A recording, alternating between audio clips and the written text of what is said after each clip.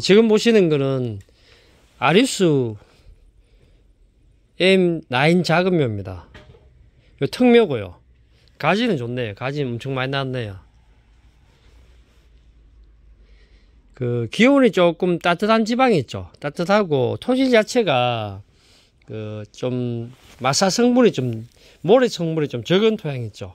그런 데는 나인 심어도 괜찮습니다. 나인이 또 26보다는 그 작은 물보다는 열매는 좀 더 좋습니다. 그 단점이 추위에 좀 약하고요.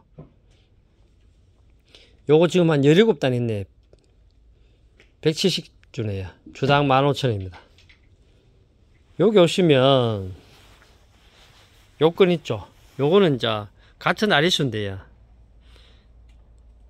26 나인이 아니고 요거는 26입니다. M26 작업입니다. 요거는 6단 밖에 없어요. 60주요. 요것도 115,000원입니다.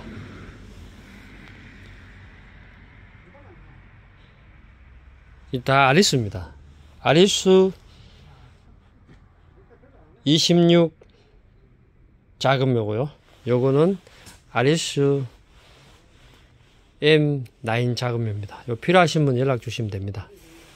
요 경산 토게이트에서 한 10분 거리 됩니다.